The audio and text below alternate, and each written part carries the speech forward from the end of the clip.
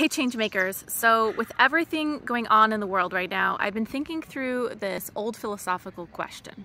The question goes like this. If humanity had to start all over again tomorrow and you were a part of designing the ideal society, what would it look like?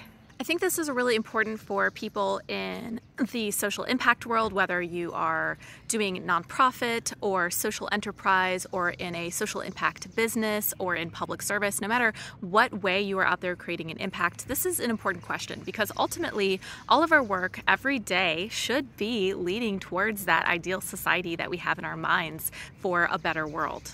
Another key component to this thought experiment is called the veil of ignorance, which is a term coined by American philosopher John Rawls. And that idea is that as you are thinking about what the ideal society looks like and how you would design it, you also have to consider that you do not know what position you personally would have in this new society, whether you be rich or poor or from a flourishing city or not.